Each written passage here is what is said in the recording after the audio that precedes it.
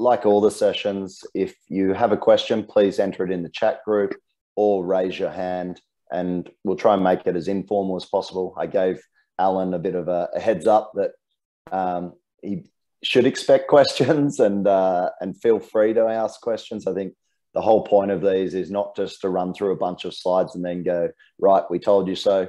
It's for everyone to try and learn as much as possible, including ourselves. Um, I certainly learn a lot from Alan, and uh, some of the information he's presenting today is very interesting and raises a lot of questions uh, in my head um, about what is current practice and what we should be looking for in the future as well. So um, we'll get into it. Um, let me just, why is that not going? Oh, that, sorry. Okay, so thank you everyone for attending today. Um, I know I'm just going to say, my name's Scott Tindal, co-founder of Fuelin. Uh, yeah, really excited to have Alan on board. Uh, I will introduce Elizabeth and then we'll let Alan take over. You're on mute, Elizabeth. Course I am. Uh, the other performance nutrition coach here at Fuelin. Um, obviously, hydration, you guys have all heard me talk about it. Big, big passion of mine, that and women's sport especially. Um, I'm anxious and excited, big fan of, of this group. Uh, so ready to ready to dive in. Perfect. And uh, just as a as a, a, warm welcome, thank you to Alan, uh, Dr. Alan McCubbin, for coming on today's Q and A for everyone. Um, Alan, I will let him uh, talk about his bio, but just uh, he, he's a great guy a wealth of knowledge, um, a registered Australian sports dietitian, researcher, and lecturer at Monash Uni. And Alan, please uh, introduce yourself. Yeah, sure. So yeah, I've, as you said, um, I've been a sports dietitian for oh, coming up to twenty years now, which is a bit scary, making me feel my age. Um, and and started out working primarily as a practitioner for for many many years. Uh, did a lot of work, particularly in endurance and ultra endurance sports. Uh, I guess the big one here was when, so I'm based in Melbourne, so down in, in the southern part of Australia. Uh, and I guess the big thing here was we didn't have our own sort of standalone Ironman event until 2011, I think it was, or 2012. I'm trying to remember now uh, when the Asia Pacific Championships for Ironman came to Melbourne for the first time. And that was, you know, we had a lot of people that were going interstate for Ironmans and, you know, you'd work with those athletes. But it just, as a sport here in Melbourne, just exploded around that time. And I think I spent three months, it was in March. I spent the first three months of every year for the next three years just writing race plans for people nonstop. Um, sort of got sick of writing race plans after a little while. Um, but what was interesting, I think, during that time was that you know, I was doing a lot of work of, of, writing these race plans and trying to say, okay, well, you know, people are we're looking at the carbohydrate that they're having, you know, how much per hour um, and where they're getting that from, how much fluid per hour versus how much fluid they're going to need.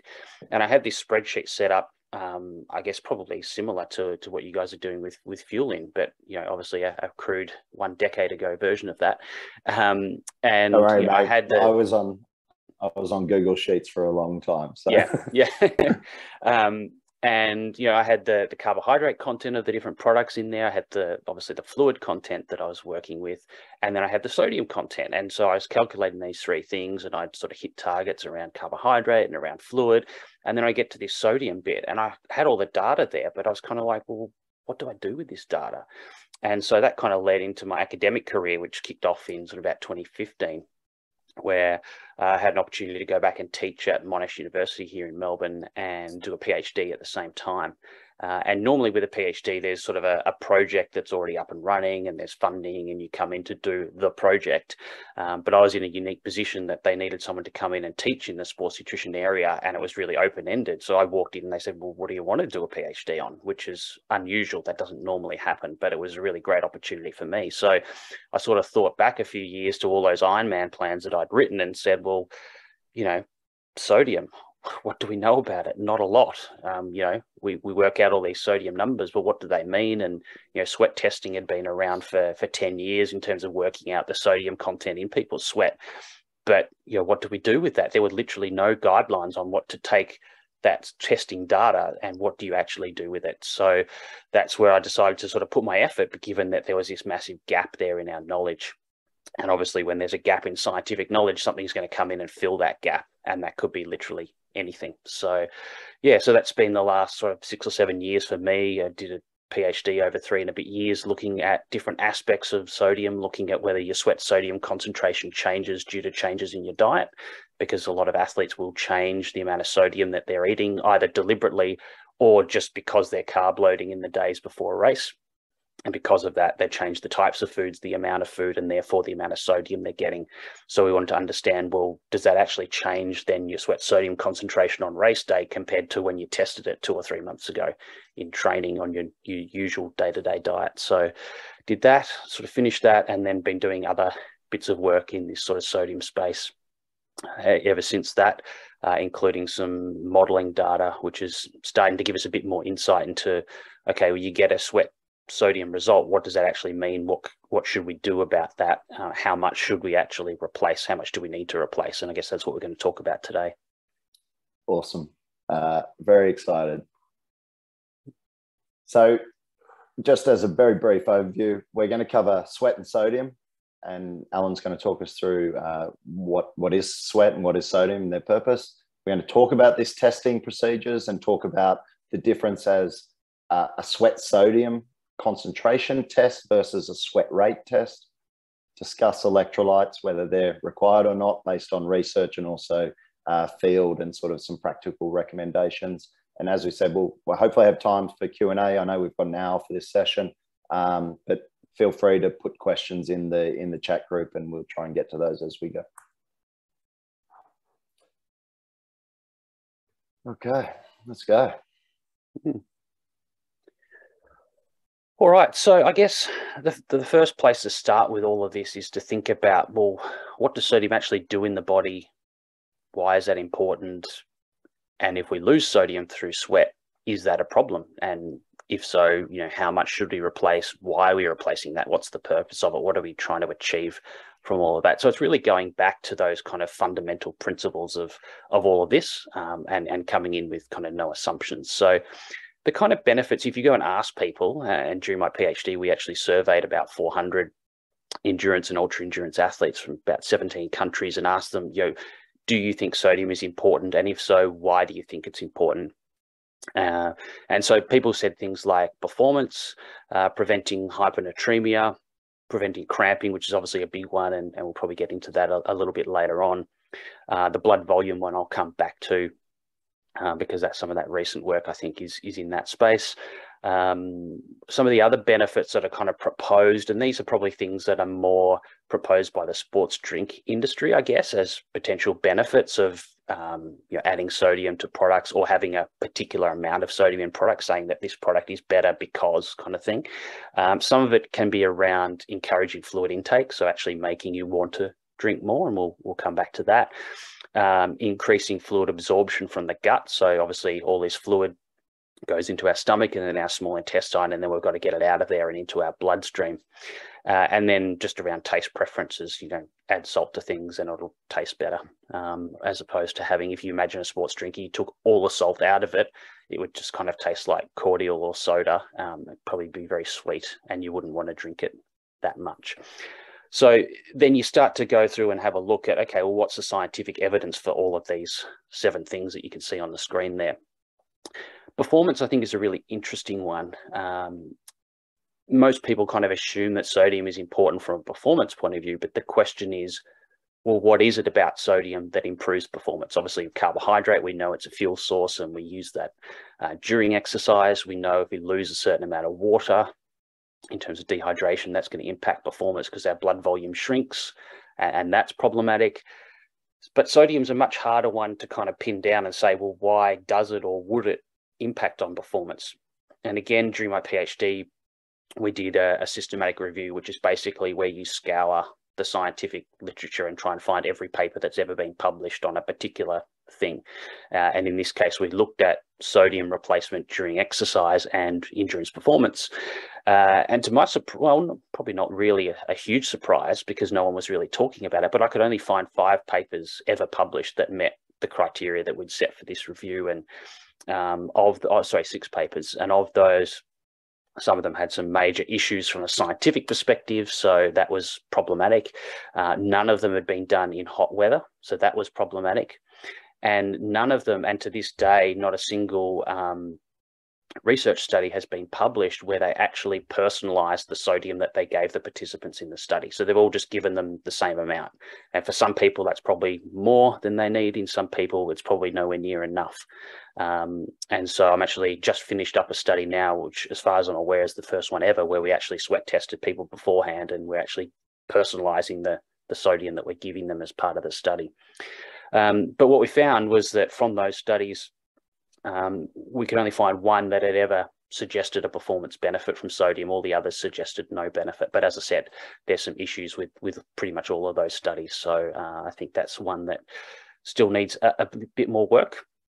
The hyponatremia one is an interesting space. Kind of everyone assumes, well, hypo means low, nat means sodium, and emia means blood, so low blood sodium. So if that's low, then surely more sodium must prevent that. Uh, and yes, it can to an extent, but remembering it's low blood sodium as a concentration, so it's relative to water. So not only will sodium affect blood sodium concentration, but the amount of water will affect it as well. Uh, and I'll show you some data shortly that just shows mathematically the water has a far greater influence than the sodium. Yes, the sodium has an influence, but the water has a much greater influence. So if you over drinking fluid, it doesn't matter how much sodium you put in unless you you know, taking huge amounts of tablets or something, um, you're, you're going to end up with hyponatremia anyway. Uh, the blood volume one is kind of related to that, and, and this is where I think there may be a, a benefit from sodium, uh, but also possibly why we're not seeing that in those current performance studies is that I think you have to look at um, a very large water turnover, and we'll come back to that shortly in terms of what that means um, to actually see an effect of sodium on maintaining a better blood volume and um, and then that might lead to to better performance outcomes. But it's probably going to be in sort of events of Ironman distance or above, sort of your ultra marathon type stuff, or your you know 24 hour mountain biking and, and that kind of thing, where you're going to see most of those benefits. Uh, cramping we'll come back to a little bit later. Um, there's some interesting insights around that, um, which we can talk about shortly. Uh, and then encouraging fluid intake, a lot of that information or, or scientific data was around sort of post exercise and you're adding sodium to drinks makes you drink more after exercise, but there is now a bit more data that suggests it also does help during exercise. So I think that's a potential positive for people who are struggling to get in enough fluid. If this encourages you to drink more, then that's possibly a good thing. But if you're someone who tends to overdrink, then maybe it's not necessarily a good thing. Uh, fluid absorption, there's been some really good research in this space, mainly led by the sports drink industry, but ironically, most of that has shown that the sodium has a very small and almost trivial impact on fluid absorption from the gut during exercise. And in fact, carbohydrate probably has a greater influence than the sodium does. So it's probably not something we need to, to think about or, or worry too much about. And then taste preference, as I said before, becomes really important. And particularly the longer the event becomes, as a general rule, the more we tend to uh, turn away from sweet tasting foods and towards more savory tasting foods. And obviously salt is going to provide that, that flavor profile. So that can be a beneficial effect there as well. Cool. Perfect. So if we need to understand, I guess, this relationship between salt or sodium and water in the body, I think that's a really good place to start because it's it's really important that we understand that because then that leads to okay, well, what impact is replacing water or replacing sodium or replacing both going to have during exercise. So this diagram here is actually a sweat gland, that funny pink uh, colored thing. So you can see there's kind of a, a squiggly part at the bottom that's called the secretory duct, and that's where the sweat is initially made. So this is obviously within a few layers of skin. And then you've got the straight bit that comes up, which is called the straight duct. Um, and then at the top is where the sweat comes out onto the skin surface and then obviously evaporates off to cool us down, which is why we produce sweat during exercise. But if we have a look at the different electrolytes that are in sweat, how they get in there, how much gets in there, and then what happens to it, uh, this is where it starts to um, get a bit scientific, but also important. So down the bottom there, we've got the various different electrolytes. So Na is sodium. So these are just the chemical symbols for them. Cl minus is chloride, K plus is potassium, Ca2 plus is calcium, and Mg2 plus is magnesium. And you can see the concentrations of those on the right there. And what we find is that the secretory duct of the sweat gland sits in what we call the interstitial fluid. It's basically the fluid that sits outside of our cells uh, and it exchanges electrolytes pretty readily with our blood. So what you see is that the concentration of these electrolytes around the base of the sweat gland is basically the same as what it is in our blood when we take a blood sample. And we know that once that goes into the sweat gland, it's pretty much in that same concentration. So the initial sweat our body makes is pretty much the same concentration of all those electrolytes as the blood. But what happens as the sweat moves up that straight part is what I've done with that little inset there is you get what's called reabsorption of the sodium and the chloride. So some of that sodium and chloride goes out of the sweat gland and back into the body instead of going out onto the skin surface. Um, and that is regulated. It can change for various factors the diet, as I mentioned in my PhD, we showed that if you change the amount of salt in your diet, you'll actually change the amount of salt in your sweat. And this is the reason why. Um, you can also have uh, people with genetic um, mutations. So people with cystic fibrosis, for example, um, have a mutation in the gene that encodes for this reabsorption. And so they don't reabsorb that sodium. And so they have extremely high sweat sodium concentrations that come out onto the skin surface, and that's a problem for them. Uh, but for the rest of us, not so much an issue. So what you generally see is because some of the sodium and chloride is recaptured by the body, but the water isn't, and the magnesium, the calcium, and potassium aren't either, is that we end up with a sodium concentration in the sweat that ends up on our skin surface that's significantly lower than what it is in the bloodstream. So in the blood, about 135 to 145 millimoles per liter but our actual sweat sodium concentration is typically about 20 to 80 millimoles per litre, and the average is around 40-ish. Now you can see values higher than this if you go out and stick a patch on your skin and, and take do a sweat test that way. But a patch on any individual site doesn't necessarily reflect what's happening over the entire body. And we know from studies where they've compared those two methods that generally the whole body values you get are much lower than what you get at individual patch sites that we commonly use. Uh, and so 80 millimoles per litre doesn't sound like that much compared to some of the patches where you can see up to 100. But if you look over the whole body, uh, a, a, value of 80 is very, extremely high. It's very rare to see that. I think the highest I've ever seen is probably low 70s. Um, as I said, the, the exception to that would be someone with cystic fibrosis, but uh, obviously that's a, a very select group of people. So I guess the bottom line from all of this is that as we sweat, we're losing water and we're losing sodium, but we're losing proportionally more water than what we're losing sodium. And that becomes important in what terms of what's happening in the blood or, or the water that's remaining in the body. The final thing I'll just say before we move on here, if you look at the concentrations of potassium, calcium, and magnesium here, they're actually really, really low. And that's because the concentration of those electrolytes in our blood is really, really low. So even though we don't conserve any of that, it doesn't really matter because it's such a minuscule amount um, that it really adds up to, to not very much. And that just reflects the fact that those minerals have other roles in the body and exist in different parts of the body. So the potassium uh, and, and to some extent the magnesium mainly sits inside our cells rather than in the fluid outside our cells. Uh, and the calcium obviously mainly sits in our bones, um, obviously little bits and pieces in other areas of the body, but that's where the majority of our calcium kind of resides. Okay, do you want to Alan, I've got two questions. the next one. Two questions for you, Alan. Um, the significance of the low concentration of potassium and calcium magnesium is the significance of that, therefore, that any electrolyte that you would potentially consume would not require any of those minerals in it. Is that what you're saying? Oh, so I missed the start of that, but I think you were saying, is there no point to replacing those Correct. because you lose them in such small quantities? Yeah. Yeah, I mean, that's pretty much the scientific consensus. Obviously, there's a lot of products out there that really emphasize the potassium, calcium, magnesium and use those as a kind of point of difference or a selling point from a marketing perspective. But really, we're not seeing any scientific evidence that uh, we're losing those in quantities enough that cause any kind of issue or that replacing them is going to be of any particular benefit. I mean, the amount of magnesium, for example, that you lose in sweat during exercise, even if it's a really long session, you know, you'll eat that back within 24 hours of just your normal diet without doing anything out of the ordinary. Yeah, like a, a single banana would easily replace that. And and, and the uh, taking in extra magnesium wouldn't, in my understanding, it wouldn't have any performance benefits or physiological benefits.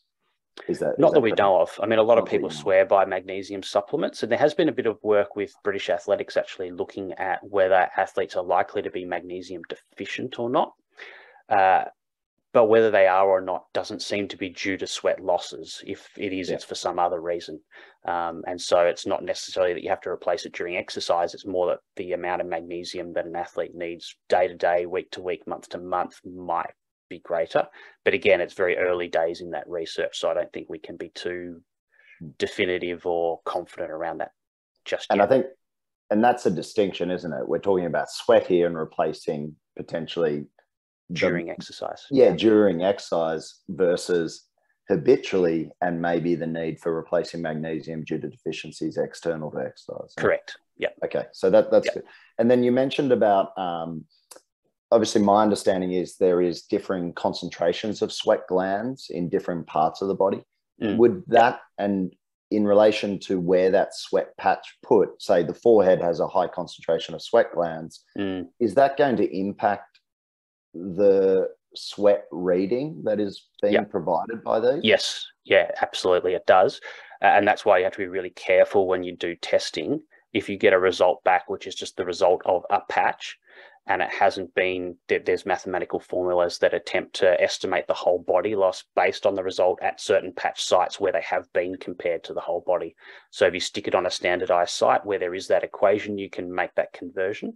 But if you just stick it on anywhere um, then you, you're pretty much guessing okay and, yep. and, and generally speaking the, the ones that we have used in the past have all been pretty much higher than the whole body values that we would expect to see okay and just so, and just for clarification, uh, the calculation from millimoles per liter to milligrams is what? How would you yep. time? So, so yeah, so it's it's based on what we call the molecular mass. So it's different for each mineral. For sodium, it's twenty three.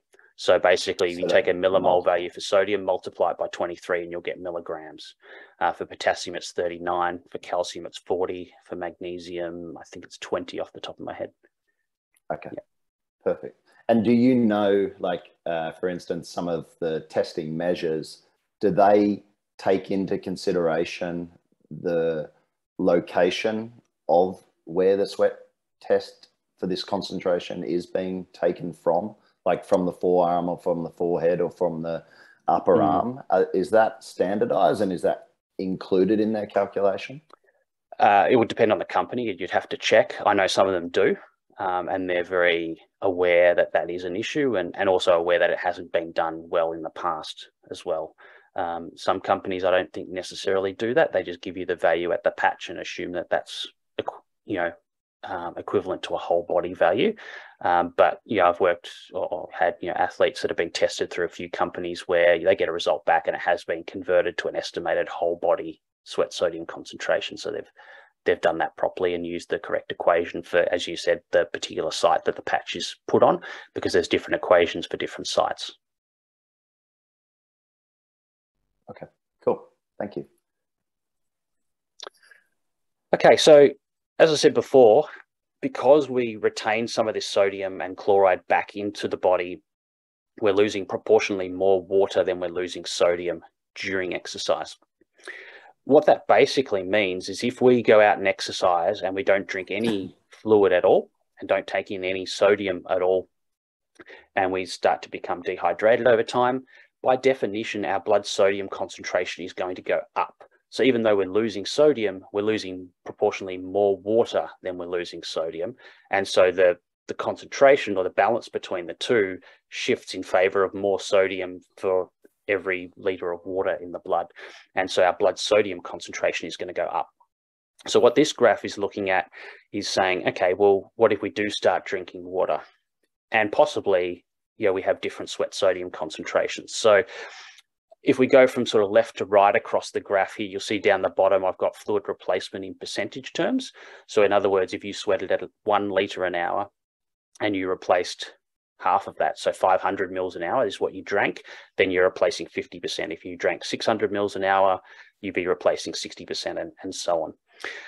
And so obviously, as I said, if you drank zero, your blood sodium concentration would go up, no matter how salty or not salty your sweat sodium concentration is. Um, obviously, it would go up more if your salt, uh, if your sweat was less salty, and but it would still go up a little bit if it was even if it was very salty, because it's still going to even the saltier sweaters, their sweat is still less salty than their blood. But as you start to drink more and more water, what you're going to see is you, you hit this tipping point where uh, now you're replacing water, you're not replacing sodium. You're going to get to the point eventually where you do drop the blood sodium concentration. And obviously, the extreme example of this is where you drink too much water, so more than 100% of your sweat losses, and you end up with hyponatremia. But what you can see in this graph here is that that sort of happens progressively. It's not like it goes up and then all of a sudden it just goes down. It, it happens sort of in stages. So the, the, tipping point seems to be around that kind of 70% replacement. So once you, your rate of drinking is more than about 70% of your sweat rate, then you're going to tend to see your blood sodium concentration start to fall. And obviously, the saltier you sweat, the, the sooner that will occur. Uh, and you can see there you've got 20, 40, 60, and 80 millimoles per liter in terms of that sweat sodium concentration. And obviously, the saltier you sweat, the earlier and the more pronounced that that drop um, will occur. But 70% seems to be for, for most people probably that kind of tipping point.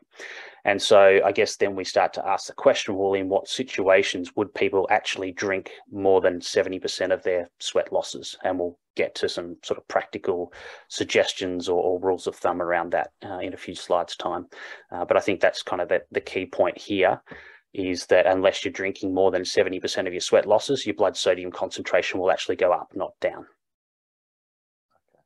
And so, Alan, when if if an athlete is looking at this graph, and I'm sure a lot of them are trying to get their head around it, if if they are consciously aware of they have a high sweat rate and they're trying to maintain some level of percentage of body weight loss, i.e., trying to keep it maybe around two to three percent body weight loss. They're trying to consume somewhere between 60 and 70 percent of their fluids in order to practice for race day is this therefore saying if they are replacing 60 to 70%, there would be potentially a need to replace some sodium in those fluids? Yes, and that's what we'll get to in a couple of slides' time. And that's the sort of that modeling work that I've done just okay. recently. Yeah, yeah, but below that, no. And and again, we'll, we'll talk a bit later on about some rules of thumb in terms of what scenarios actually require replacing more than 70% of your fluid losses because it's actually less common than people would typically think. Yeah, cool. Uh, again, this slide is, is, a little bit messy, but um, what this basically describes is, you know, again, getting towards, well, when do you actually need to replace a large percentage of your sweat losses in terms of how much you drink back during exercise? And, and what we see here is that the longer the event, the higher that percentage of, of sweat loss uh, needs to be replaced. And just to, to walk you through it, uh, if we start off just ignoring everything except for that green line that goes up.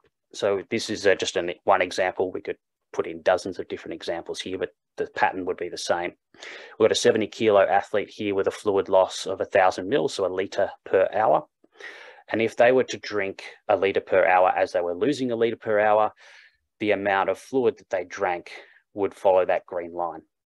So at one hour, they've drunk a litre. At two hours, they've drunk two litres. At three hours, they've drunk three litres and so forth. And that's that green line there. Now, if they drink more than that, so that's basically the, the amount they're going to drink is above that green line, then you're into that dark blue shaded area where you're overhydrated.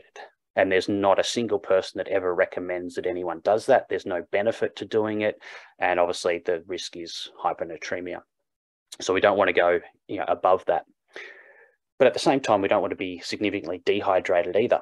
And so the red dashed line now represents a 2% body mass deficit in terms of water loss.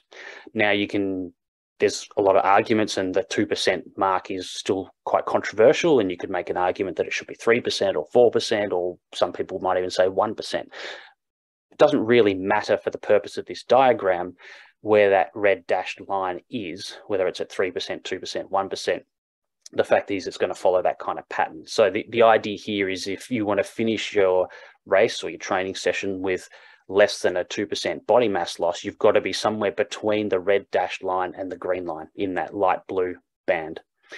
And so how much do you actually need to drink to finish within that light blue band? And that's where those blue lines come in. So down the bottom, the dark blue one, if you only drank back 25% of your sweat losses, you can see you're going to fall out of that band at around the two hour mark. In other words, you could only you could get away with replacing only 25% of your sweat losses in terms of fluid for about two hours uh, and still stay within that kind of well hydrated band, so to speak. But if you then go out to three hours, you can see you're now going to need to replace about 50% of your sweat losses. And then if you go out to six hours of exercise, you now need to go up to 75% um, sweat replacement. So it's just the, the maths of it all.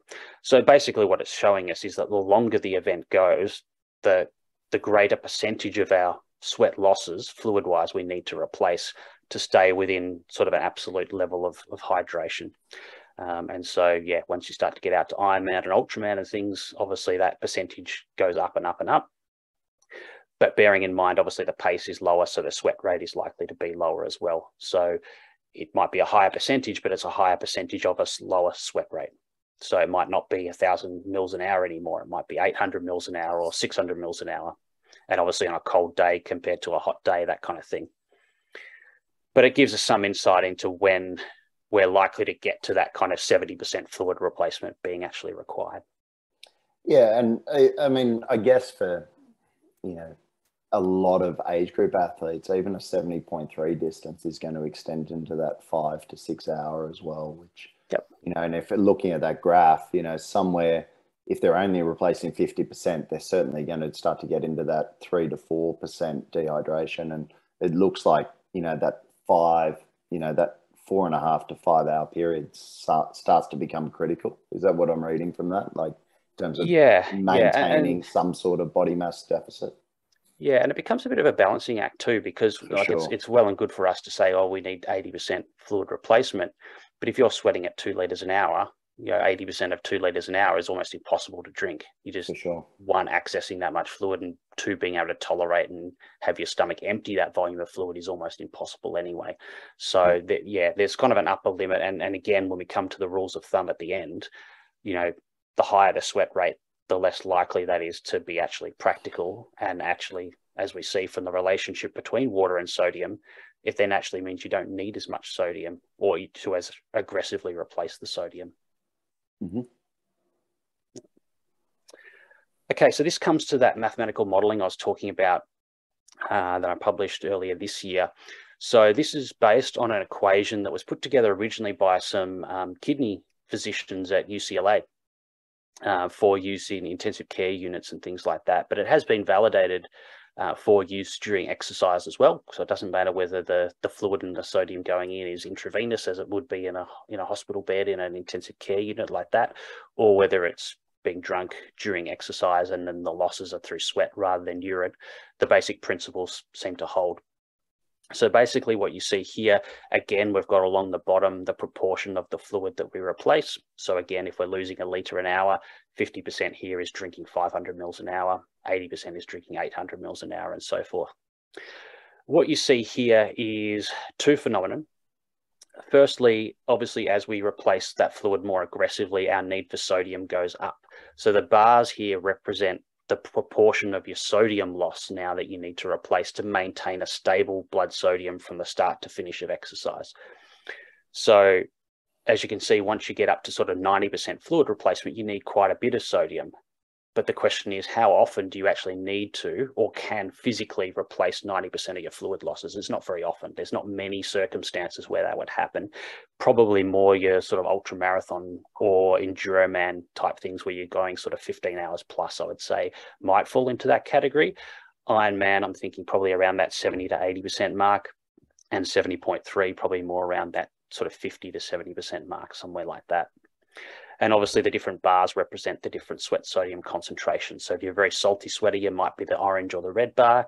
If you're not a very salty sweater, you're probably the blue or the green bar. So you can see there, until you really aggressively replace fluid, um, you really don't need sodium um, to maintain a, you know, to consume sodium to maintain a, a, stable blood sodium concentration if you have an average so 40 millimoles the green one there is about the average for most people if you look at a you know, data over hundreds or thousands of people that have done sweat sodium tests. Most people sit around that 40 mark.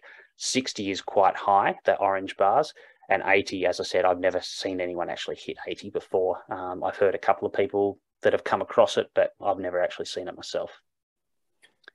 So, Alan, if, if looking at the 70% of proportion of sweat fluid losses replaced, you're saying that they would need to replace, if they were in the 60 millimole, they would need to replace 26% of that loss? Is that of what their sodium saying? losses? Of their sodium losses. Yeah. So 26% of the, let's times that uh, by 20, what was it, 23?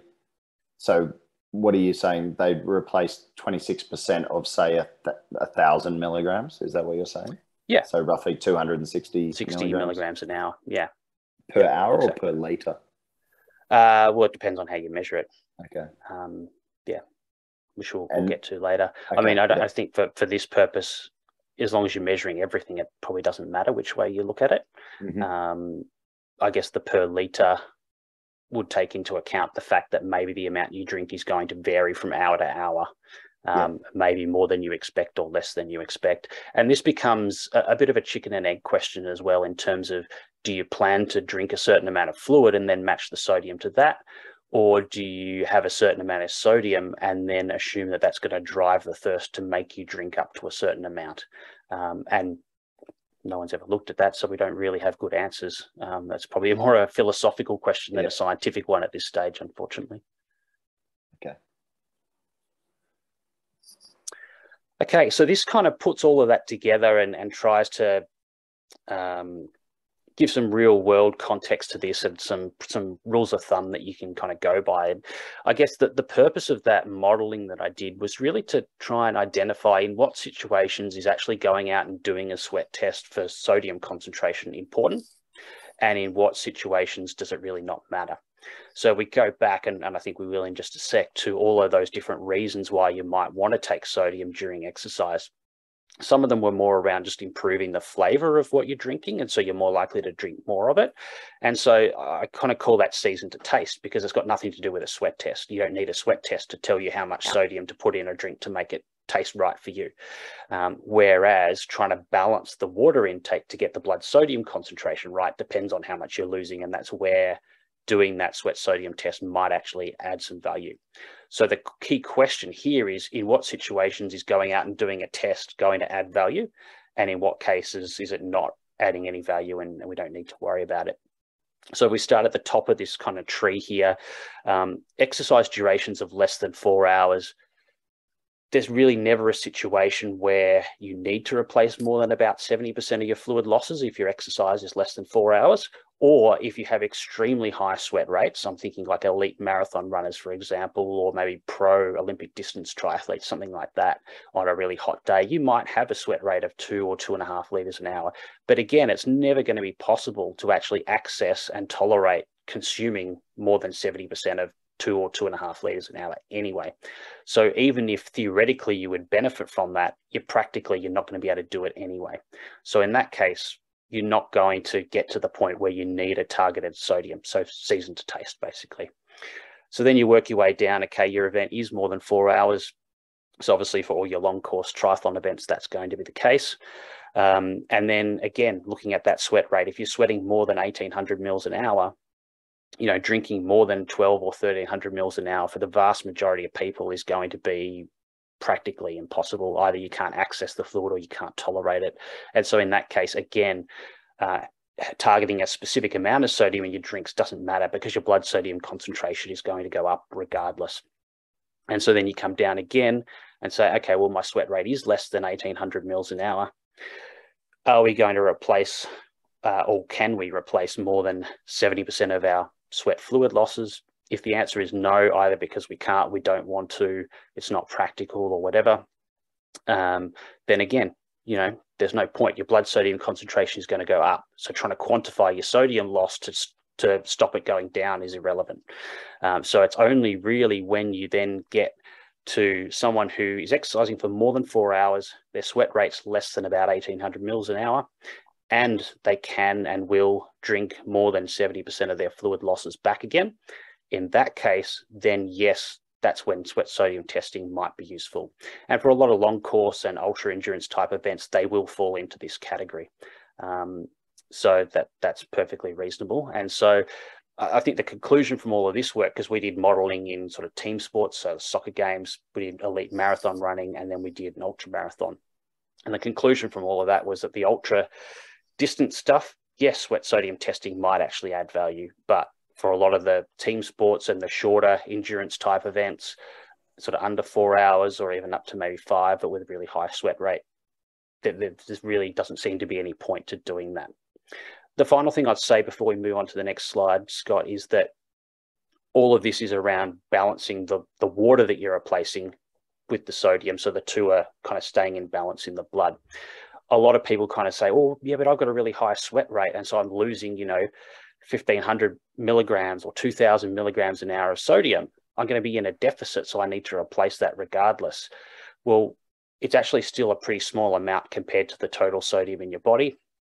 Um, and we can't find any scientific mechanism, explanation, or evidence that a sodium deficit is actually causing any problem. The problems seem to be the, the mismatch between water and sodium in the body.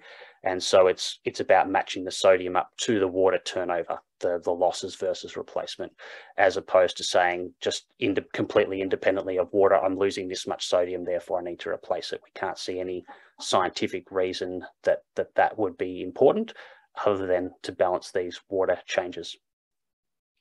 Uh, uh, Elliot, does that answer your question? Because what Alan, what uh, Elliot was asking was, you've got on the bottom replace sort of, you know, an up upper value of sixty five percent of sodium losses.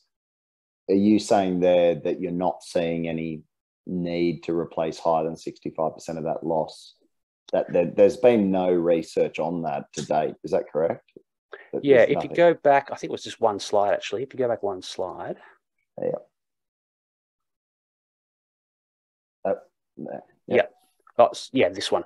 So I guess if you look at which bars there sort of exceed 65%, it's only really once you're starting to replace more than 90% of your fluid losses mm-hmm. that you're then going to drop your blood sodium if you don't replace more than 65% of your sodium losses.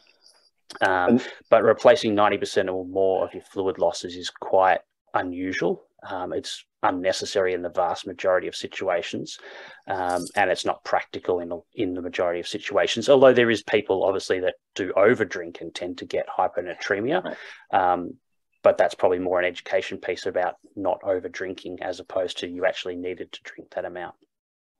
And that um, fits that fits really well though i guess with what we tend to say is like we never encourage people to drink 100% of sweat rate of fluid losses and we also have certainly had that narrative with whatever the testing value is.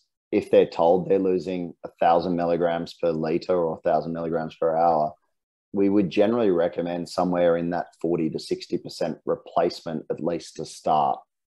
And hmm. would you sort of subscribe to that? Is that what you're sort of saying? Because, like, I see some of these values coming out of some of these sodium testing things and i'm like well that's just not feasible to take in that amount of sodium and is it required? So is that yeah. what you're saying? Like start with a yeah. percentage of that value? Yeah and i guess the other way to look at it is what's going to happen if you over replace the sodium. So if you don't need more than 65% but you go out and replace 95% for example what's what's the consequence of that or what's going to happen well the main thing that's going to happen is it's going to push your blood sodium concentration even higher Yeah. And that's going to do a couple of things. One is it's going to force fluid to move out of your cells and into the blood to try and balance out the uh, what we call the osmolality um, between the the fluid that's inside our cells and the fluid that's outside our cells. So our, our cell volume will actually shrink. Now, whether that's a problem or not, we don't really know. Um, probably not a major problem. We're not seeing that. Uh, but the other thing that it will do by having really salty blood is it makes you incredibly thirsty. Um, so obviously that's trying to get the water in to balance that and bring it all back into balance. So we've kind of overdone the sodium and now our body's saying now we need to get more water in to correct that overdoing the sodium, if that makes sense. But yeah. I guess the downside to that is if you're out in the middle of a, a bike leg and you're between aid stations and you haven't got enough fluid to satisfy that thirst, it's not a very good feeling psychologically.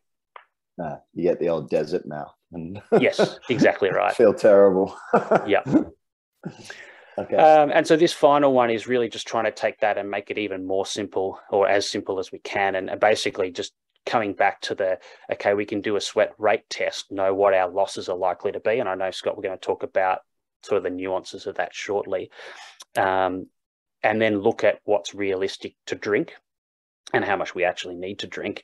And if the answer is it's less than 70% of our sweat losses, then our blood sodium is almost always going to go up. And so, really, taking a, a targeted amount of sodium is not adding value here because it, you know, whatever sodium we're putting is just going to make it go up even more. So in that case, we can really think about sodium as something that's there for taste purposes rather than a specific balancing out the water purpose because we don't need to, to do that already. Then if we shift to the middle there, so our fluid intake is around kind of 70 to 80% of our, our sweat losses. And this is probably relevant for, for Ironman particularly, and maybe 70.3 in really hot weather. Um, in these cases, our blood sodium is only going to fall if we have above average sweat sodium concentrations, which is above about 40 millimoles per litre as a whole body level, not the individual patch values.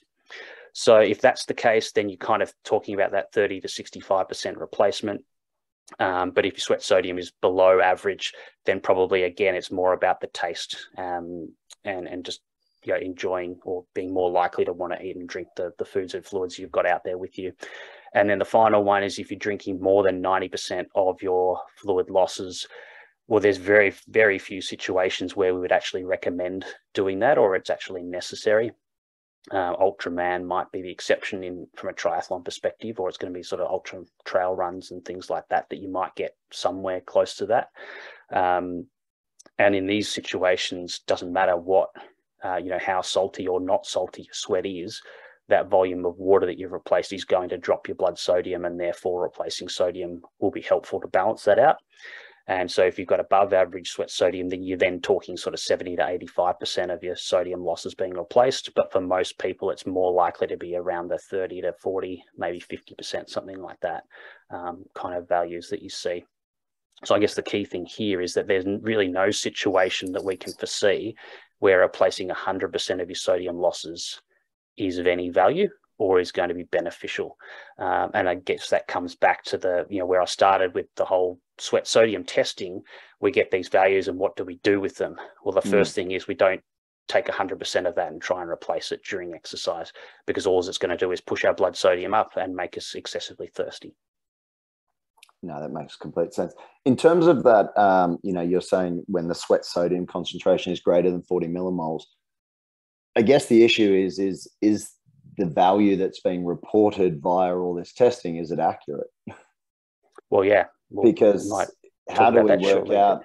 Yeah, how do we work out if the testing number? Because we're, we're, I mean, typically I am seeing very high numbers. Like mm. I would mm. say majority, I would probably say seventy to eighty percent of athletes that are getting tested are well over forty millimoles yep. um, as a value. And but you're saying that value, depending on the site and the calculation, might not be as accurate as one would hope. yeah. Saying? So if you, I mean, the most common site that's used for patch testing is a forearm. Um, yep. Probably, I reckon, 90% of tests that go on is a forearm patch. And yes, you're right. You'll see values of somewhere between probably 50 and 100 millimoles per litre at that site. Yep. But once you apply the correction equation to estimate whole body sweat sodium concentration it'll bring it down to probably 30 to 50 millimoles per liter, generally speaking. So, yeah, if people are just reporting the value back from that individual patch, then that's a problem because they're not converting it to the whole body loss. So, should athletes be asking these companies if they are doing the conversion yep. to whole body? Absolutely. Okay. Absolutely. Good question. I, have never actually asked them if they do that conversion, so I, I certainly mm. will. Mm. And I know a couple of companies here in Australia that definitely do because I've spoken to them, but uh, I suspect a lot don't. Can you name who those companies would be? Uh, so there's one called SOS, which is actually a UK company, but they set up a subsidiary here in Australia. I know they. Yeah, we know uh, the, SOS well. We know James yeah, well. Yeah. So the guy who originally set that up, Andy, uh, I knew quite well from before he worked for them, and because I was starting my PhD around the same time, we spent a lot of time chatting about it, and um, he was very careful to to not um, make that mistake. Um, just trying to remember the other one. They've kind of come and gone over the years. Their yeah. Proformance, I think, have done one as well, but I can't remember if they do the conversion or not. But yes, yeah. it's really important to ask that question: Is this the actual value from the patch that you took, or is this the estimated whole body value? Because they are fundamentally different. Yeah, I'll and just so everyone knows, I'll ask um, Precision and I'll ask Levelen if um if they are doing that and get back to everyone on that and so everyone knows. Mm. Yeah, and precision is potentially a different kettle of fish because the whole way that you get sweat is completely different. Yeah, yeah, interesting. Um, okay, uh, most athletes have seen this, and it's something something that I found really interesting on Alan's podcast. Um, and if you're not familiar with it, it's called the Long Long Munch. Is that right, Alan? Yep. Long Munch. It's on Spotify, on uh, Apple, and everything. It's very interesting. Uh, they take a perspective of a practitioner and then an, usually an athlete uh, on the same topic. It's it's really engaging. Um, they try not to get too heavy into the science and keep it uh, very practical. So I, I enjoy it uh, from both aspects, and I'm sure a lot of athletes will. We can share that um, with everyone in the post show notes um, from today. I think something that I found really uh, encouraging was that um, a lot of uh, their guests on there that are experts in hydration do uh, talk about the need or at least the practical advantages of understanding sweat rate. And I think that's nice to hear from our perspective. Um, I think something that was drilled into me again from listening to Alan's show was that a single test is not going to be very useful. And would you agree with that, Alan? Because it, oh, it totally. Yeah. Yeah. Because it only gives you that point in time for whatever it was happening at that point in time. And that's as good as nothing, really. It's we talk mm. about multiple data points to try and create a picture to the athlete.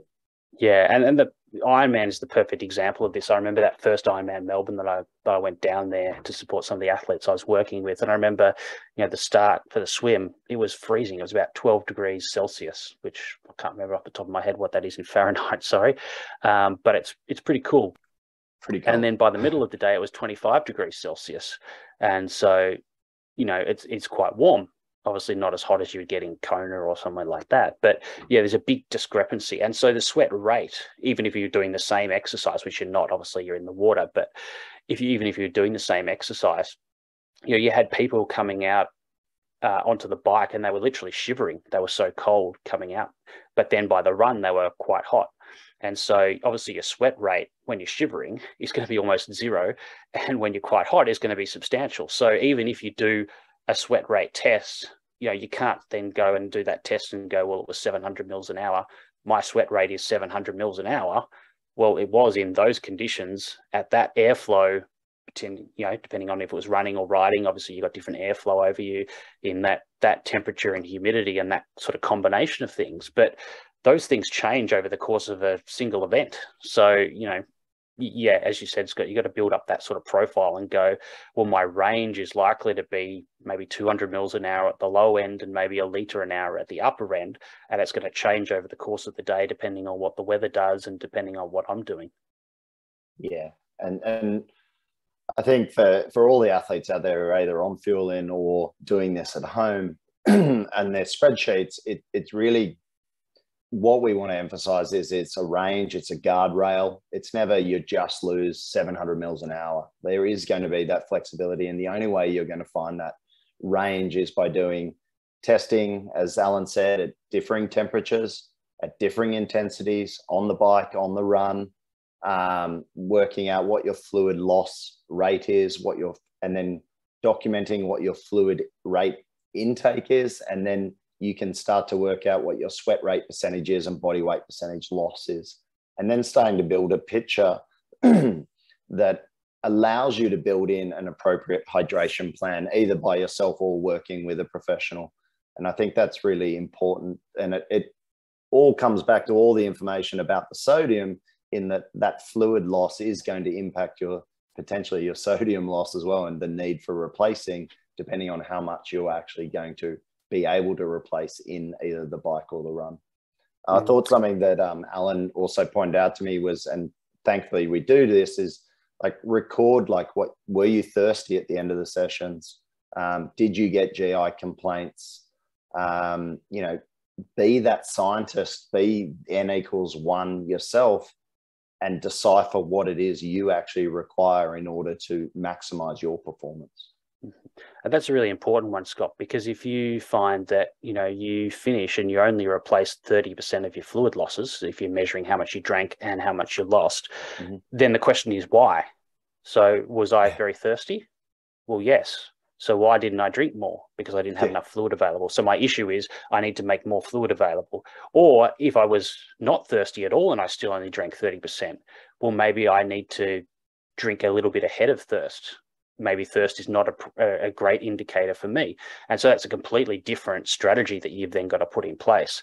Um, or the flip side to it might be, yeah, I only drank 20% because I had a lot of gut issues. So actually, I don't tolerate drinking more fluid and I need to get better at tolerating it. So I got to go away and deliberately push that in training to get my gut adapted to being better at being able to consume that volume. So having that extra information about how much you drank, the thirst rating, and the gut symptoms gives you just so much more information about you know like you don't just get this data. What is my sweat rate? You get data about how much did I drink, and if it's not great, what's going wrong and what can I do about it? Yeah, I love it. It's very very good and and that probably comes into this slide really nicely is and just I think some of the testing that we're seeing is they're prescribing a, a set milligram per hour. And what I wanted to highlight with this was the danger of taking in exactly the same amount of sodium per hour, but depending on your fluid intake, that could significantly impact the milligrams per liter. And I think this is something that a lot of athletes aren't always aware of. So if you were consuming, say, six, uh, you know, you'd consumed a total of a liter um, in 1.4 hours, that works out at 600 mils an hour, which, if you're taking in the same amount of sodium per hour, that works out at about just over 1100 milligrams per liter.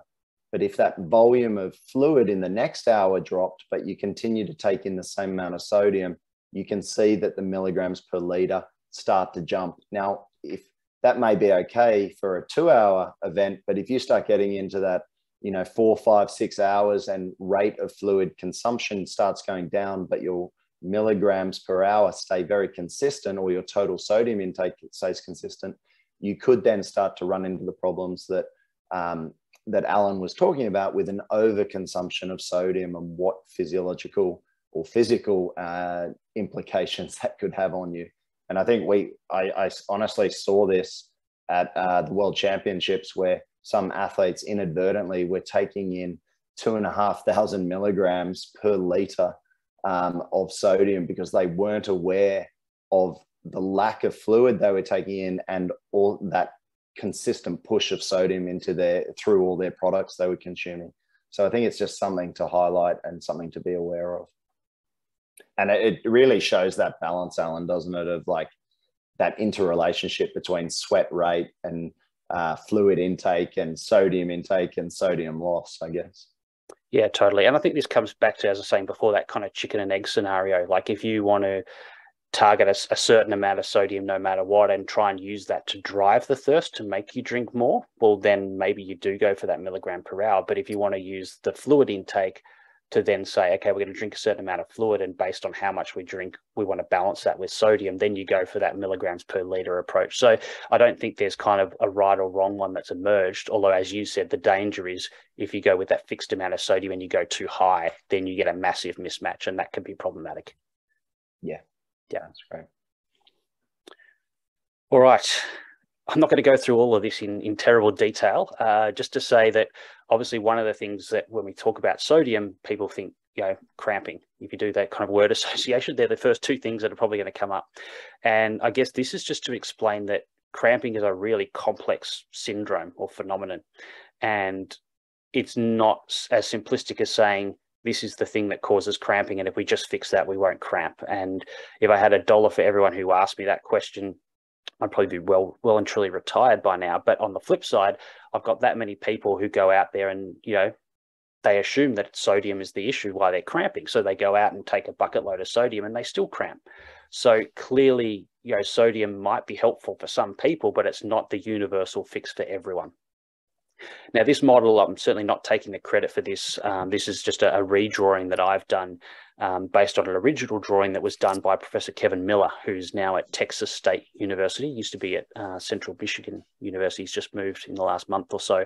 Um, and it's trying to bring together all the, the scientific information we have currently around cramping that happens during exercise. Um, and basically what he's saying is that there's there's kind of two things that can kind of happen or two main things that can happen that feed into our nervous system that then impacts on the way that our nervous system interacts with the muscles and then makes them cramp in the in the right combination of, of situations. So the first thing on the left hand side he says is, that things can change the actual functioning of the central nervous system ahead of when you're actually cramping. And this can be things like we know people with certain um, medical conditions or certain medications tends to increase your risk of cramping. Um, the actual physical stress of the exercise itself. One area that he's starting to look at, um, he, he suspects that actually psychological stress can have an impact as well on people's risk of cramping because it's changing the, the way that the nervous system functions. And then other things like stimulants, which can include caffeine. So for some people, that's maybe not an issue, but for some people, it may be a contributing factor. So none of these things on their own are going to make you cramp. But what they might do is get you closer to that point where you do start to cramp.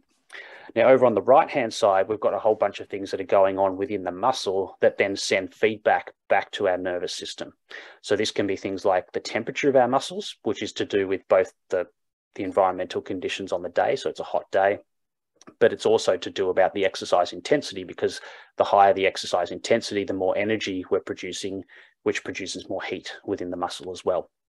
We've also got pain in there, and certainly so some people anecdotally will say that their cramping gets a lot worse uh, if they've done an injury or they've just come off their bike or something like that.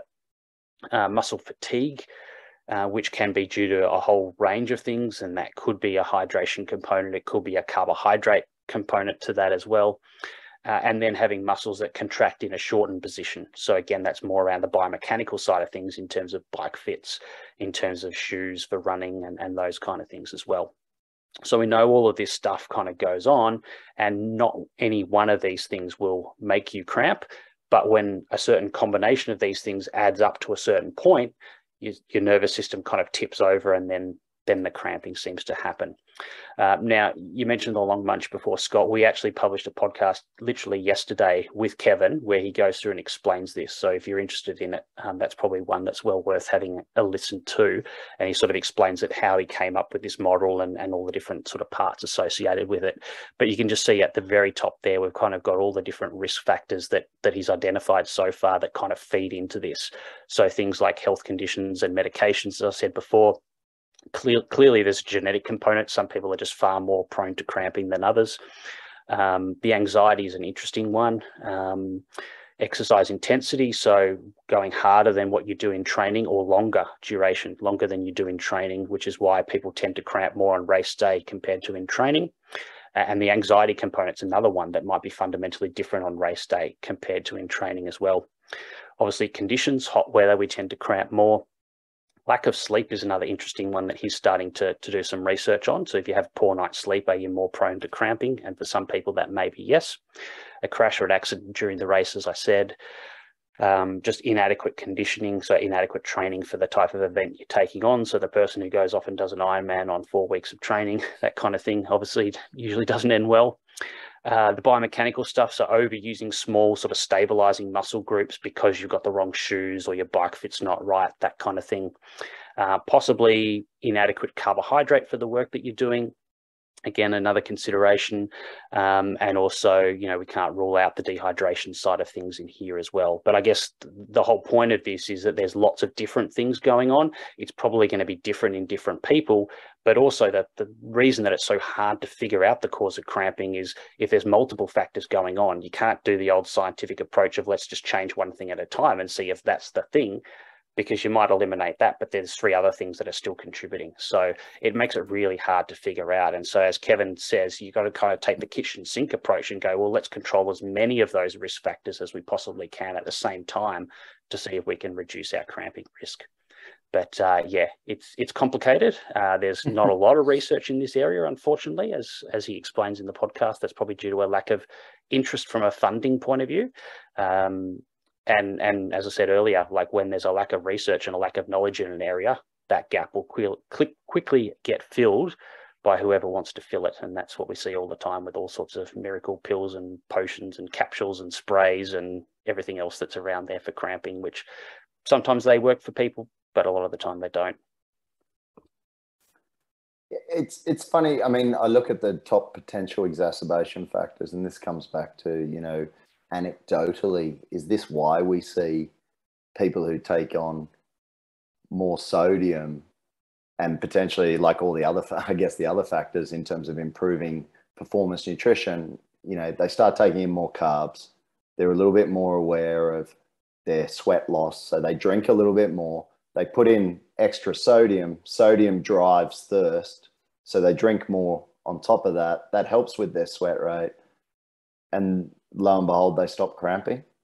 So is it is it the sodium that's stopping them cramping, or is it the sodium that's driving them to drink more, and that replaces more of their fluid loss because they're a heavy sweater and because they're consuming more carbohydrates, they're fueling their muscles better, and maybe because they're consuming more carbs, they're also drinking a little bit more, and so it just is that multifactorial sort of approach in that they're just doing everything a little bit better that then ultimately stops them from they focus on the cramping but the cramping is just the byproduct of maybe all the things they were doing poorly before yeah yeah quite possibly. Um, it, it's an interesting one. And the other the other area it's been looked at and, and, you know anyone who's sort of followed the story around pickle juice and hot shots and those yeah, kind of yeah. products is uh, i guess it's not so much about cramping prevention but cramping relief when it does start to happen is, you know, there there are receptors in our, our mouth and our throat that react to, to all sorts of things, including the chili and the, the acidic things that are in the hot shots, and obviously the acidic things in the, the pickle juice,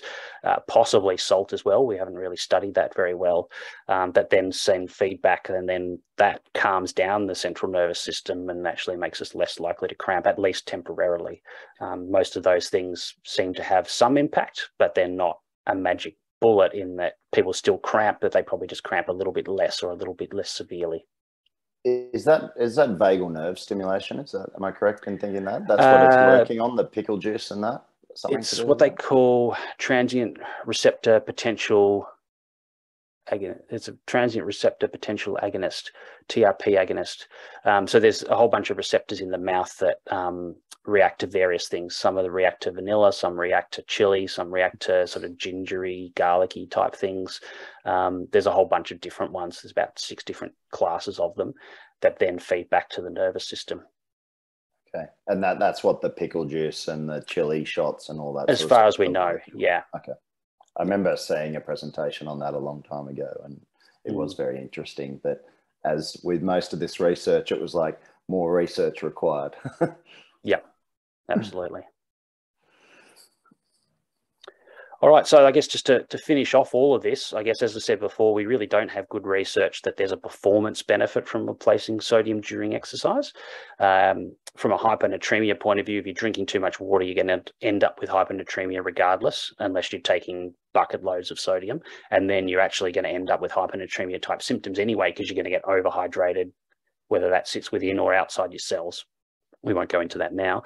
Uh, I guess the the one where I see a potential benefit that may, as I said at the start, translate into a performance benefit in some of those really longer duration events is the ability to hold a better blood volume for the same um, without dropping your blood sodium concentration. So if you are aggressively replacing your fluid during those really long events, by having that sodium to balance the water there, you can maintain a higher blood volume. Or in other words, if you didn't have any sodium during exercise, you would probably end up with that blood volume shrinking and potentially detrimental there. But it's really hard to design and, and do a research study that measures performance after 10 or 15 hours of exercise. So it's kind of one of those theoretical things that will be really hard to prove in a, in a research study. Um, cramping, I think the jury's still out a little bit. There might be some role of sodium in there or, or possibly other electrolytes, but I think what we can be pretty confident in is that it's not going to be a magic bullet for everyone.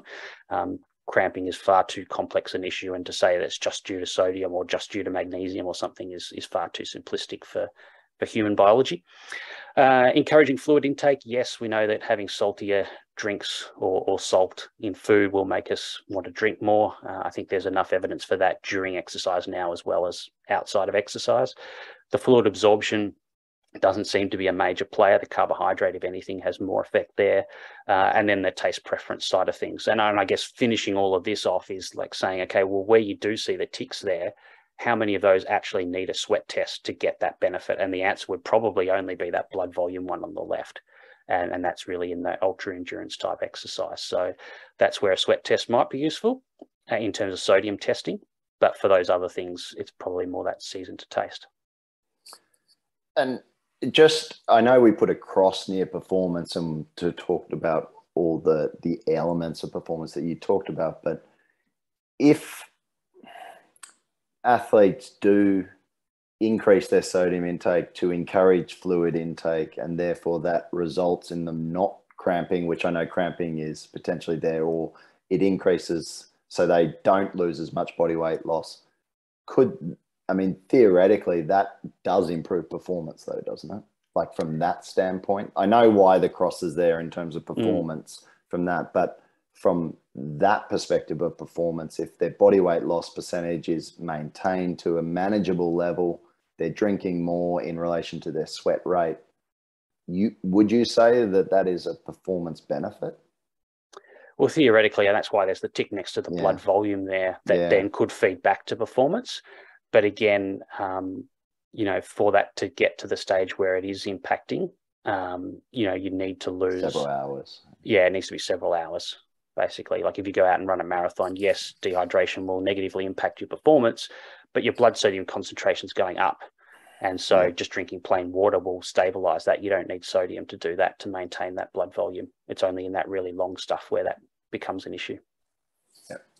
And I guess one of the questions that I this got me thinking about was a lot of training, you know, based on that model, you know, less than four hours. Therefore, you don't need to necessarily be thinking about replacing 70% or whatnot and replacing sodium at high levels. But when the athletes are training for an event that is going to be over four hours, but training sessions are smaller than the total duration you're talking about, is there value or do you see value in training that hydration strategy for those longer events, even though it is in shorter duration training sessions? Yeah, and I think the the benefit is not necessarily in the training itself. It's more about adapting your gut so yeah. it can tolerate that on race day. So it's not necessarily that you're going to train better because of it, but it's more that you get your gut into a state that you can actually do that on race day and not run into trouble. Yeah, that's that's fantastic to hear, I guess, because that's what we talk about a lot in terms of that, and and the practical side of it, isn't it? Like yeah, you talked yeah, about, totally. like it's it's like how do you ma- how many bottles have you got on your bike, and how do you manage that, and how like what products are you going to consume to actually practice that gut training to get you yeah. know be better in a race situation. So yeah, and like some of that taste preference stuff, until you go out and do a six hour ride and try all these different products, you're not going to know whether you're going to dislike that taste six hours into a race or not. You, you, know, you can do that in one hour or just sitting around in your kitchen at home and try it and go, yeah, it tastes good, but it could be a very different story on race day. Certainly. We certainly hear that a lot. So, mm. I have um, two, two questions for Scott, yeah. Jonathan. One on like day to day hydration and sodium needs. So, is there do you have views on that in terms of you know the the standard what is like eight cups a day of water, and then all these brands now are saying, oh, you need to take electrolytes just even daily, even if you're not working out. You what what are your views on that? And then uh, the follow up is around we had a question about BOA Blast, I think that's the new product where uh, I think it's aerosol salts or something that you spray into your mouth, and their claim is that it helps uh, increase the speed of the absorption of sodium. And would be curious if you had any perspectives on that. Mm-hmm. Uh, so the first one, I guess, we start off with the fluid side of things. You know, do we need to sort of go out of our way to, to drink more? Well, I guess that depends on the, the fluid loss from training. So if you're going out there and doing a six hour ride on the weekend, then probably, yeah, you are going to need to drink more, whether it's during the session afterwards or both. I guess, do you have to go out and be quite scientific or, you know, really quantify that? Uh, maybe during training, you try to do that a little bit, particularly if the quality of that session is important. Uh, probably thirst is going to bring you back to where you need to go outside of training in most cases. I guess the exception to that would be if you do a big training session, you know, I guess a lot of Ironman athletes might train morning and, and night uh, before and after work and then have to repeat that again the next day. And so in that case, if you lost a big amount of fluid in a, an evening training session and then you've got to do a hard session again the next morning, you might want to deliberately sort of increase your fluid intake and and your kidneys are pretty clever at sort of balancing everything out. So as long as you've got enough, your kidneys will get rid of the excess. Um, that said, you don't want to be up all night going to the toilet either. Um, that's not not great for your quality of sleep, which is obviously going to impact on trading. So it's it is a bit of a balancing act. Uh, in terms of electrolytes, Alan, just on that, can I ask yeah. a question? If someone did weigh themselves and did like you know they calculate they've lost this much percentage body weight, my understanding is you should aim to replace somewhere between 150 to 200% of that body weight loss if you're trying to rehydrate. Certainly, if you have a second session that day or the next day, is that what you would be recommending? Yeah, about 150% of yeah of the deficit that you ended up okay. with. I mean, you may not end up, you know, assuming that you drank something yeah. during that first session, the deficit may not be massive. Um, yeah or if you didn't drink much at all, then it might be bigger. Uh, yeah, so about 150%. Um, and that's really, I guess, if you need to get back to that level of hydration within sort of 12 hours or so. Yeah. Um, or if, you know, it could be a bit longer, but eight hours, eight hours of that you're asleep. Obviously, it's limited opportunities. So, yeah, yeah. But I think if you've got more than 12 waking hours until the next session, then probably thirst um, and your kidneys are going to get you to where you need to go. Cool. Thank you. Sorry. Uh, and then in terms of electrolytes, uh, this is sort of the stuff I looked at in my PhD around you know changing the amount of sodium in your diet and how that affects your sweat and urine losses of sodium uh, or, or, other electrolytes. And it, it's quite dramatic. Um, we've just finished up a study now where we got people running for five hours uh, in the heat on a treadmill terrible study. Don't recommend it. Um, but what we see is in, in one group, we gave them 100% sodium replacement in capsules, and the other group, we gave them placebo capsules. So they literally got no sodium at all. Uh, and then we look at how much sodium they pee out in the next 24 hours afterwards. And I had to check the machine wasn't broken because the amount of sodium in their urine when they were on the placebo capsules was so low. Like the the kidneys just conserved that sodium so well. Um, it, it wasn't able to conserve all of it because you know five hours obviously you've lost a lot. Um, but it did a pretty good job. And and you see that in sweat concentrations it takes a little bit longer probably a day or two. But yeah day to day you're not going to accumulate a sodium deficit because your kidneys and your sweat glands adjust to changes in the amount of sodium in your diet. They're too clever for that.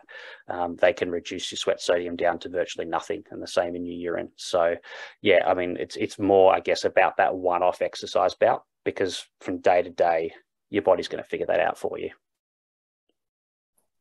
Awesome. Oh, thank you. Oh, and sorry, the other one was the the spray electrolytes. Oh, yeah. Um, yeah, I haven't I haven't come across that myself. Um, I guess the question is why? why do you need to get electrolytes into the body that quickly, um, particularly in the absence of water? So, yeah, uh, like uh, maybe it does absorb it quicker, maybe it doesn't. But I guess the question is, why would you need to absorb it that quickly? Apart from maybe if someone's got hyponatremia, you're trying to treat them, but usually you're in a medical tent and they're giving you an IV if that's that dire. Yeah. And what about like the salt licks? Have you seen those? Like base performance does this salt lick. Do you think yeah. that's more about just driving thirst as much as anything? Like because it's salty, it's quite nice. Well, it, it could well be, yeah. So some of it could be about that flavor fatigue side of it. Some of it could be about driving thirst. I mean, basically, it's just a way of getting sodium in without water. Yeah. Which, um, in some situations, if you've overdone the plain water, might be beneficial. Like I don't know, like like often when I talk about this stuff, some people go, "Oh, so you don't need sodium capsules or tablets." And I say, "Well, no, potentially you could use sodium capsules or tablets to get the sodium because it gives you a nice quantified amount. It's easy to take uh, rather than try to juggle it in fluid and, and foods and things like that but it's about taking the right amount of those things and not overdoing it and you don't need nearly as much as people tend to do and, and, go overboard with it. So whether it comes from fluid or capsules tablets doesn't really matter. It's about the quantity regardless of how it gets in there. Which i think is a really nice way of sort of rounding it out isn't it? It's like hmm.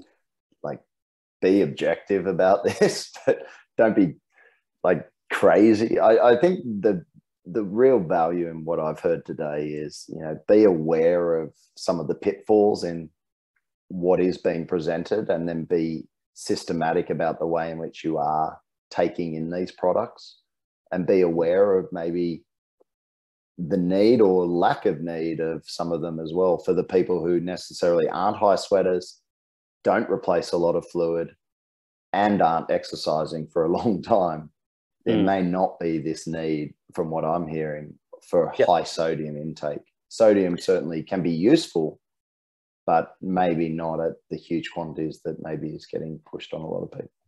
Yeah, yeah, and and I think you alluded to it before, Scott. The other thing to bear in mind is we we tend to think about the sodium that's in our fluids and then any capsules or tablets, but we've got to remember that there's often sodium in the foods that we're consuming as well, whether it's gels that have sodium in them, or whether it's bars or things that you've made yourself, homemade type goodies. Um, often they can be high in sodium as well, so we can't forget about that. But yeah. I guess the other thing is like if we overdo the sodium slightly, it's probably going to be harmless. It's not really going to do anything. It's only if we really overshoot the sodium, we're going to be just terribly thirsty and feel pretty awful. Did you see high, therefore high sodium excretion in the urine in the people who were taking the, the capsules with the, the salt capsules in that study that's yet to be released? Is that what uh, you saw? Uh, a higher amount of sodium in the urine? Well, certainly a lot higher than the other condition, yeah. but it was normal basically. So it didn't. So where did the sodium go? Well, out in their sweat during the five hours so, of exercise. So then their sweat concentration was higher. Is that what you found? No, the same, the same, or very similar. Yeah, we, we see that the sweat glands adjust to salt intake much more slowly than our kidneys. Our kidneys can adapt within an hour or two.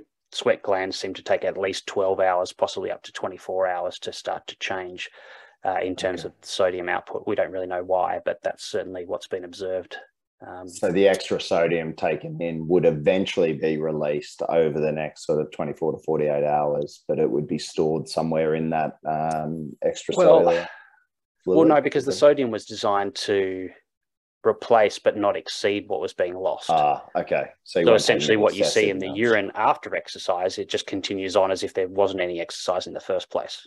So it okay. looks like what because they collected their urine the three days before exercise and didn't do any exercise as well. So what you see in the urine is that the sodium loss just continues on as if there was no exercise. Whereas in the group where they didn't have any sodium and they exercised, you go into a massive conservation to try and hmm. make up that gap. And is there plans on doing maybe a study where you take in excessive sodium and seeing what that does? Not really, because no one would ever recommend that. So there's no well, point to really studying.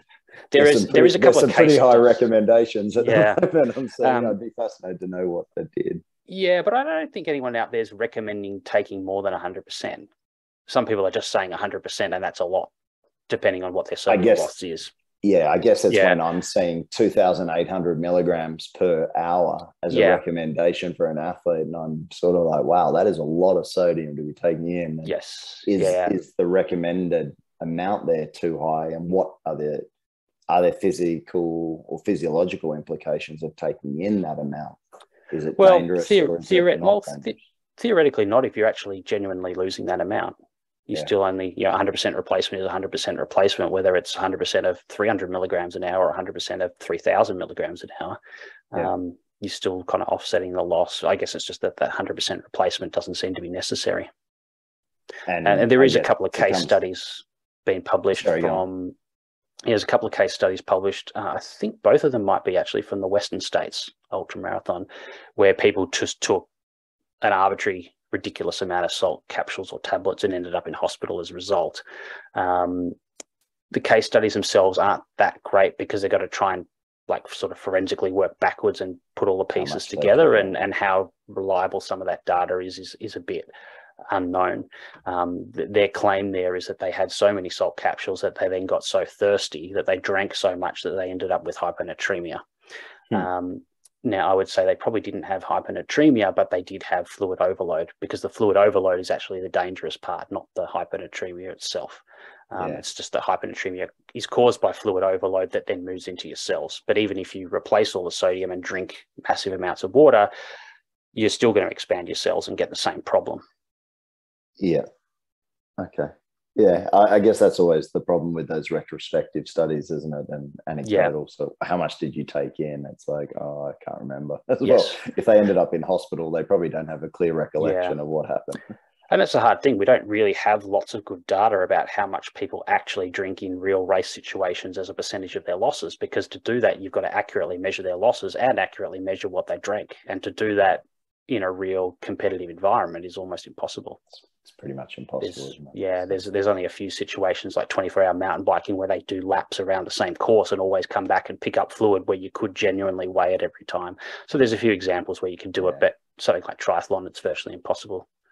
Uh, it's tough. It is tough. Um, which is, and also just as a segue, what's I think it's this Sunday we're releasing a new release into the Fuelin app, which will, in when the athletes are recording their total fluid intake, they're now able to select the products which contain sodium mm-hmm. in it. So I think what's going to be really nice is athletes can then start to quantify total amounts of sodium consumed as well and start mm. to see based on their fluid intake how many milligrams per liter they're taking in, which I think is going to be really useful because I think as to what you were saying, a lot of athletes don't uh, take into consideration that bars, gels, blocks have sodium in them as well. And then they're taking mm. in these salt capsules and electrolytes. And as you know, some of these electrolytes do have a lot of sodium in them. And I think it will be really interesting then looking at the data and seeing, you know, do we have of the 200 odd athletes on the program, how much average sodium is being taken in by athletes and breaking that down into maybe gender and breaking it down into body size. Um, we, mm. we could dive into some of that data and you know, and see what it looks like and share that. Yeah, I think it will be really interesting to see what people are doing. Definitely. Yeah. Um, I know we've taken a lot of your time. Sorry about that. Um, does That's anyone right. have any more questions? I know I've sort of just been asking a lot because I'm super interested in this. Um, does anyone have any other questions for Alan whilst we've got him? Um, I, hope everyone found it as fascinating as I did. Um, I would love to chime in quick. Gender differences, yeah. male, female. Do you, is there a component or a factor there that's important at all? Uh, it's an interesting question. Uh, there's bits that we know some data on, some bits we don't know well. In terms of actual sweat sodium concentration for females, uh, does it change across the menstrual cycle, for example? There is some research going back to the 50s and 60s, but they didn't really characterize the phases of the menstrual cycle very well or very accurately. They certainly didn't measure you know, estradiol or progesterone or anything. So, from that perspective, they suggested that there was actually no difference. Um, but how reliable that data is is hard to say, and I don't think there has been any sort of newer data in that space. So unfortunately, it's something we don't know a lot about. Uh, generally speaking, sweat sodium concentration to a large extent is a function of diet, but also a function of sweat rate itself. So, any individual, the higher your sweat rate, generally your sweat sodium concentration goes up because as the sweat goes up through the duct and tries to reabsorb that sodium back through, the faster you force the sweat through, the less of this less percentage of the sodium gets reabsorbed. Um, so generally what we tend to see is the bigger the person, male or female, the higher the sweat rate, just because you're moving a bigger body, it's going to take more energy. Uh, and the higher that is, the higher the sweat sodium concentration. And so you do tend to see a bit of a difference between males and females, males tending to have a higher sweat sodium concentration and obviously total loss because the sweat rate is higher. Uh, but whether that's a gender a sex difference or it's just a body size difference is, is hard to tease out, but it seems like probably more a body size difference. I guess the difference that we do know is probably more sex specific is around total body water and fluid retention at different phases of the menstrual cycle. Mm-hmm yeah, and the effect that that has on hydration. But yeah, I think it's still far too early days to make any sort of conclusive statements about that, either in terms of male female differences or across phases of the menstrual cycle. Great. Thank you. Alan, wasn't there, there something, I remember listening on your podcast, there was something about it, submax efforts, it's all very similar in terms of sweat production, but then at higher rates, it's not that yes. women have less glands, it's just their sweat glands aren't as effective at producing sweat at max effort. Is that correct? Oh, you're well? right. Actually, what... yeah, yeah. So that's really at the very upper end. Upper so, end. so generally, our sweat rate is determined by the amount of heat that we're producing, because we're not going to deliver like overproduce sweat because it's going to cool us down too much, or it's just unnecessary. It's just losing water for the sake of it. So our body tends to produce the amount of sweat that it needs to to evaporate the amount that it needs to to get our body temperature stable to where it needs to. And so obviously the more energy, you know, the more heat you're producing, the more you need to evaporate off, the higher sweat rate is going to be. Um, but there's there's obviously a ceiling to that. You can't just go on and produce 10 litres of sweat an hour. So there is going to be a ceiling. Uh, and you're right, it might be slightly different in males and females. But for, for most endurance and ultra endurance events, you're going to be below that ceiling anyway. Yeah, for sure. That's fascinating. Very, very fascinating. Um, one uh, one other question. You mentioned sodium concentration can be related to diet. Is there also, did you look at any data of how that, is there a correlation with that in blood pressure as well?